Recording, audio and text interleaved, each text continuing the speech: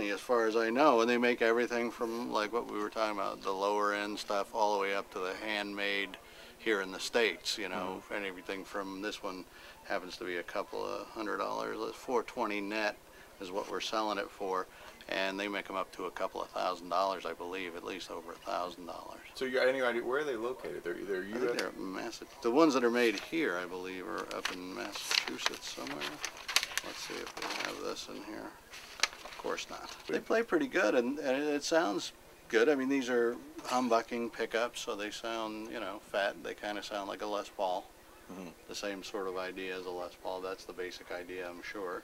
But I don't think the public doesn't know the name, Mhm. so they can be very funny about that stuff, you know. Mm, Yeah, well, I think people buy stuff. Gibson, Fender, they Yep. know those, you know. You know, it also depends on these guys whether or not they push it and how big of a advertising push they have, you know, and how whose hands they get it into, who's playing it. There were a couple of uh, fairly well-known people, of course I can't remember their names right now, that were playing them, and we had some advertising, you know, to help push it with that. But it didn't seem to work. Well, you know, a lot of. Tom's got one. Uh, I actually do have one of those. what do you think of it?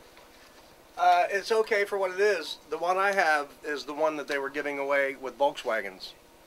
Remember the commercial? You buy a Yeah. Volkswagen, get a guitar. It was first act, and what it is, it has a preamp built into it, so you can plug it into the MP3 player in your car, and uh, and you can get a, a rock amp sound out of your car stereo with that guitar. With that exact one right there. Well, it's similar to same same make. It's very similar to that guitar, but So it has a- but it has a preamp. built in that you have to put a battery in.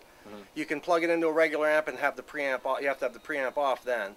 But if you plug it into your MP3 player in your car or my truck, it doesn't have to be a Volkswagen. Then you then you turn the preamp on and you get like a Marshall amp sound out of it, like you saw on Slash playing one on TV. Yeah. Uh, they're not bad, uh, but now they stopped that promotion. And that, that particular guitar, I actually bought one at a garage sale. Someone who bought a Volkswagen Got didn't want the it. guitar. I got it for 50 bucks. But they're worth about 800 bucks. Now First Act's putting that that kind of guitar out without buying a Volkswagen, and they're about 800 bucks. yeah. Uh, the guy that plays for Maroon 5 plays one of them. Oh, is that he, one of the he- ones you're He plays one of the high-end guitar, the high-end First Acts.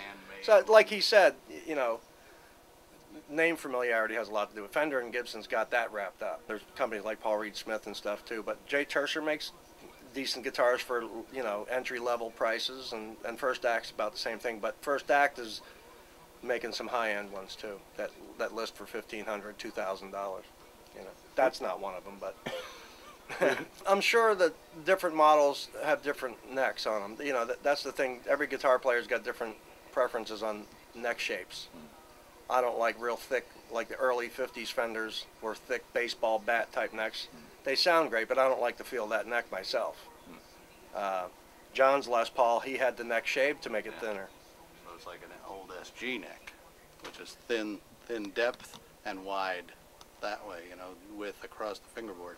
Because they got fat little fingers, so it makes it easier to get them in between them when it's uh, when it's a wider fingerboard.